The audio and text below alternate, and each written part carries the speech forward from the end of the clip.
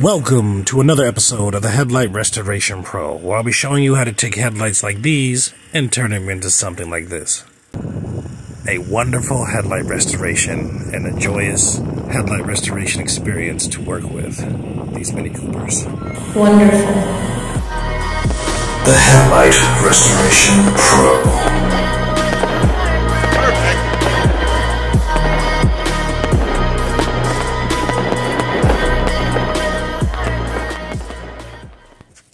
Let's get down to business. As the title would suggest, uh, working here with a 2010 Mini Cooper. Um, it is a joy to work with. See that piece right there that I'm pulling out? You always want to be gentle with that. Uh, most European vehicles come with this. Um, you know, the late models come with uh, that is a um, like a sprinkler system or a headlight wash, just uh, designed to clean your headlights. Um, it does remove uh, with an uh, with the right touch, you want to be careful with that. Um, as a restorer, I would remove it. I would just deal with it and play with it because in the past, um, I have, um, you know, I'm not perfect. I've had some bad issues with uh, these once or twice.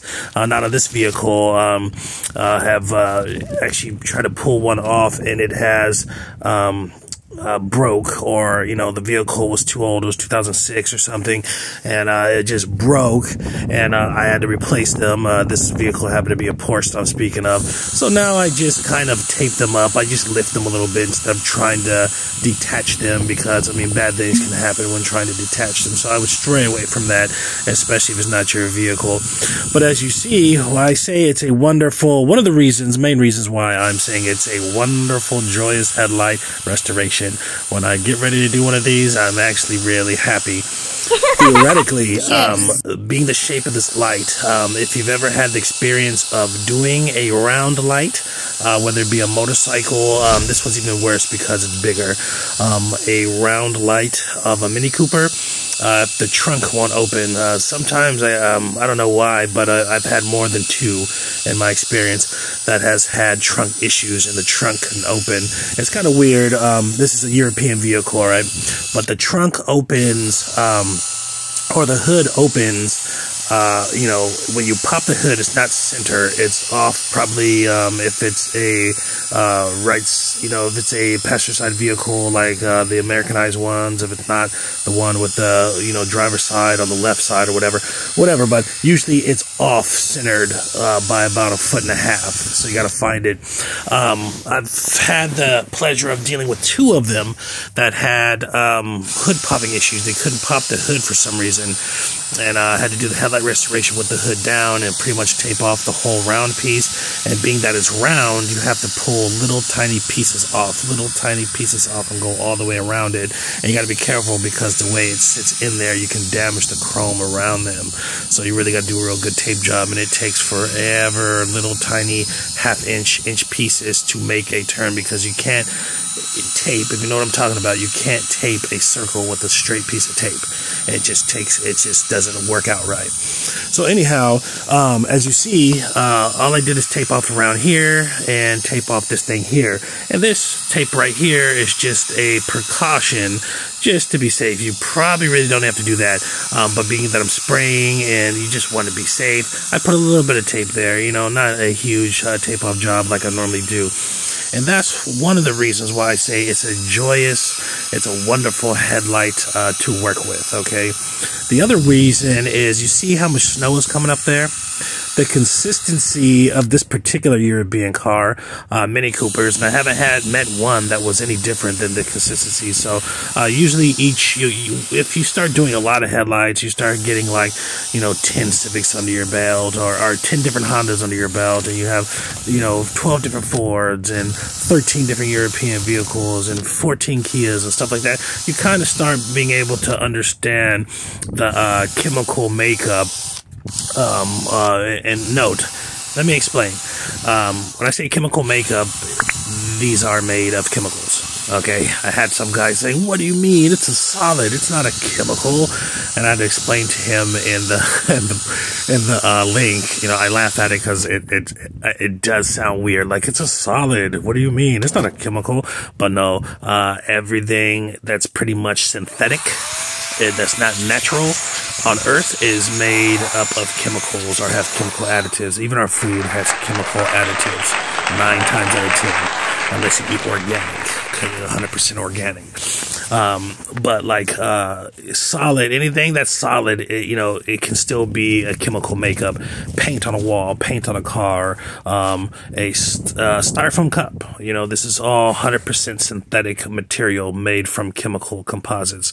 Uh, it's chain uh, chain chemicals, pretty much put together. They were a uh, more than likely a liquid at first, and they became pressed into a solid or dried into solid, heated into solid, or something like that. So that's just a little disclaimer because I don't want people freaking out. I've had more than one person say, "What do you mean the chemical composite of a headlight? It's it's not liquid. It's a solid. There's no such thing as chemically changing a headlight. Like it's it's it, it is a chemical. Okay, polycarbonate is a chemical."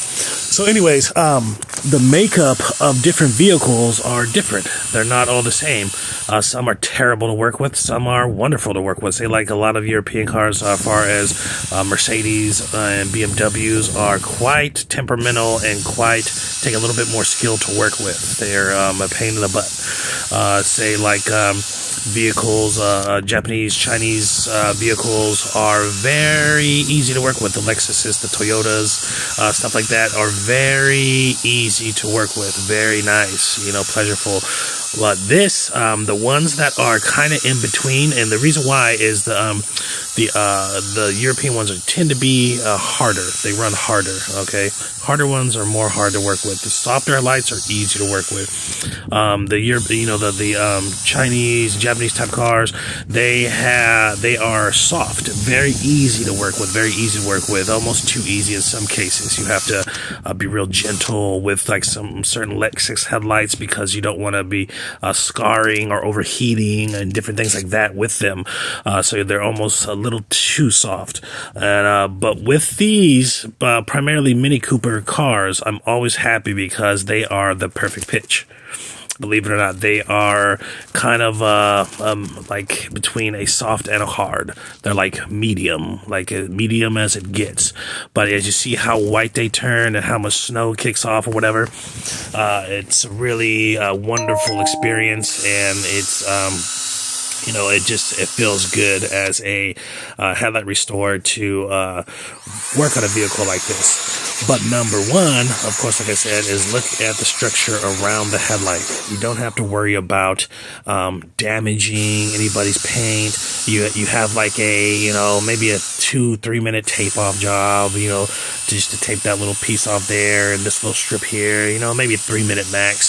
So you can pretty much you know what I like to do is I tape off both sides before I get started, uh, just so I don't have to deal with it. I don't want to like to be working in mid stroke of working and getting into it, and then like I'm done with the first line, then I'm like, fuck, I gotta tape again.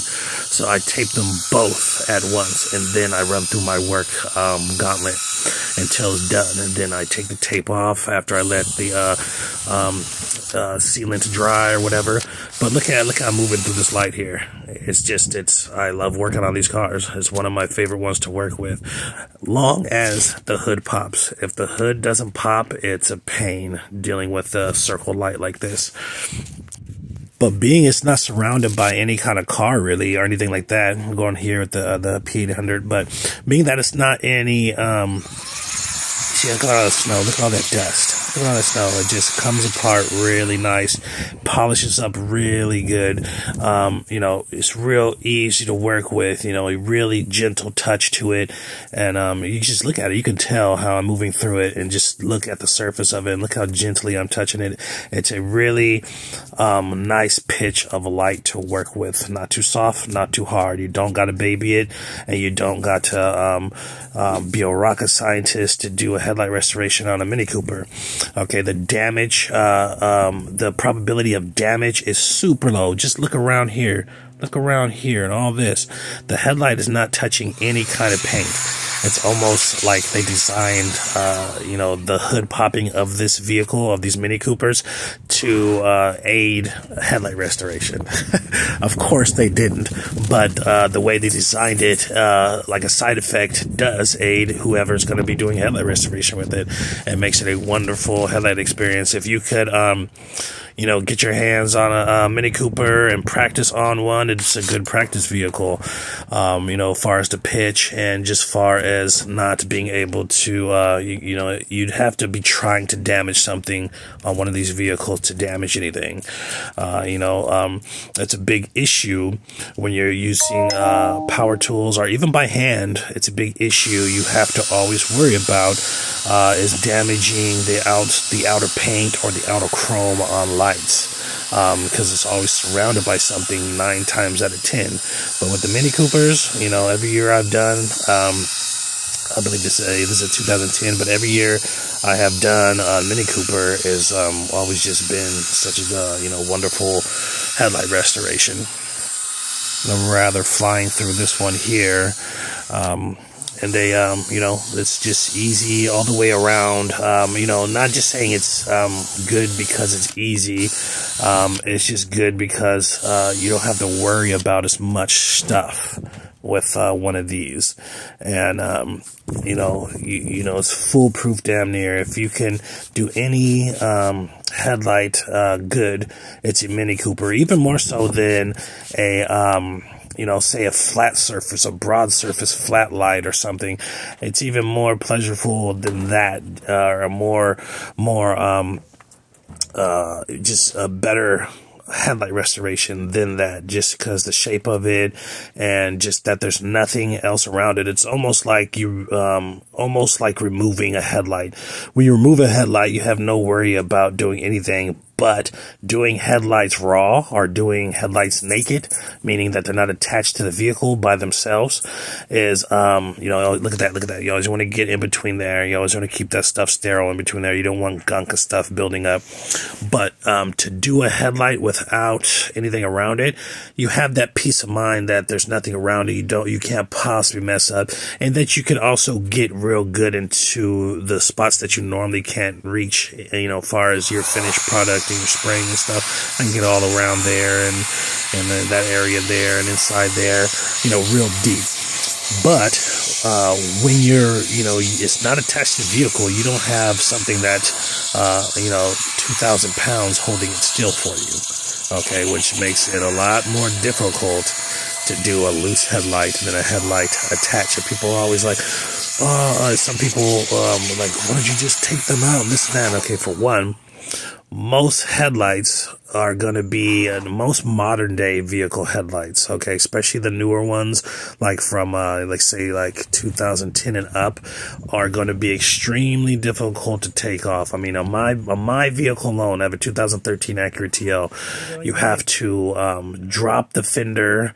You have to drop yeah. half of the um, the fender well and sometimes even yeah. take off the tires. I have 20 inch tires so i'd have to take off my tires on my rims and tires drop half the fender well at least, drop the um, the bumper just to take off the headlights. Now, who wants to do that? Like, can you imagine pulling up to somebody's house and doing all that? They'd be like, get the hell out of here. Are you fucking crazy? Right? Or even pulling up to a shop and having them do it. Is they're going to be like, okay, it's going to be what? It's going to be a lot of labor. They're going to charge you $210 labor. They're going to charge you two, more than that, $300 labor because it's probably uh, it's probably going to be like what an hour to take the bumper apart and do all that stuff, get ready to take the headlights off and, and take them off, and it's going to be another hour to reverse the process, let alone service the headlights. Uh, believe it or not, this is true because I've had it estimated and um, I've had it uh, through nor- um, numerous customers that that um, you know buy their headlights. I've even had headlights um, given to me for a discount because they bought the headlights that were you know were aftermarket or whatever, and said um, I went to go, you know, I bought them. I thought I was going to save money instead of going with your headlight restoration, and now I can't return them and all this stuff like that. But um, you know, they figure, okay, the headlight restoration costs this much, and I'm going to get uh, these two aftermarket headlights, and it's just going to be a little bit more. You know, it's going to be a little bit more. You know, maybe forty bucks more, but they're brand new, and you know this and that, which doesn't mean that they're going to be better than a headlight restoration. A true headlight restoration, like what I perform, is going to uh, come out a lot better better than um, a uh, brand new headlight. But you see right there, one second, let me break on that. But what I'm showing you here is a quick way how to resurface um, the um, uh, 3M finesse pad there. You know, I just scrape it up a little bit with something like uh, my cap or whatever, and just you know get some of that old. You see that I turn it on, fling all that stuff around, get some of that old caked on stuff off. Okay, uh, I have a guy in my DMs that keeps asking how to uh, resurface. There's many ways to resurface. Sometimes I just grind it on a rough uh, cement real quick, but you got to know what you're doing with that because you're going to take off half of your pad if you don't. That is the most friendliest way I just showed you now. And I'll show you some more in the futures. Uh, but anyways, where I was is, yeah, so you might find a pair of aftermarkets, which I would never recommend anybody getting. Here, check out this video here and you'll see why. It's one of a video I made a couple months ago. Uh, you should never buy aftermarket headlights because they're just crap. The polycarbonate is crap everything about it is crap. You, you got to know that, like, like I always say, polycarbonate. It can be like, um, it's it's it's just a uh, outcome, a chemical outcome. Okay, it can be made so many different ways with so many different additives, and people can cut corners just like anything else. Look how look how shiny that is. Let me pause. Look how shiny that is already before I spray it. Always spray your headlight shiny. But anyhow, uh, they fall apart on the insides. They they crack. The clear coat on them is garbage. Just so many things about them is wrong, and you're going to be dealing with them again, probably within a year, probably within two years. And I'm not talking about getting a headlight restoration. I'm talking about like uh, maybe the whole stuff's peeling, or they're cracking, or they're shorting out on the inside. It's the worst idea to ever get, unless you're going to sell it and you don't care and you just want it to look good because you're selling, which is kind of sucky to do to somebody. Um, but I mean, it is what it is. It's doggy dog world. Um, but, uh, you know, oh, okay, it's going to be 180, it's going to be $200 for these headlights. It's cool. But then when you take them somewhere to get them put in and they tell you, hey, it's going to take an hour to put it, take its shit apart and put them in. It's going to take a, uh, you know, another hour to, you know, to put them back in and reverse everything. So you, I'm going to charge you for two and a half hours and you got to come back and, you know, four or five hours because, uh, we're not going to be done there. We have other cars to work on as well. They're going to be like, damn, so now I got to come there and get a ride and, and it's going to, and it's going to cost me, you know, two and a half hours of mechanics work. That's, you know, it's probably like 300 bucks or something. Mechanics get paid a lot of money. So I mean, you know, you're just you're just beating yourself, and then it's still not even going to be better as uh, somebody of my level doing a headlight restoration because um, it's more of an intricate process, and um, it just comes out a lot better. That's why I say, uh, you know, why people say, why does it look better than the day I bought it? I've owned this car since, and they've never looked this good. And I have to explain to them it's a, a quality type thing. When you're getting a headlight that's made from a, um, you know, a shop or made from a, you know, made from a um, car uh, manufacturer or something. It's just pushed through a machine. It's pressed, you know, through a machine. It's it's it's uh, uh, injection molded plastic, which just means that they inject it into a mold and then they press it, you know, into the shape.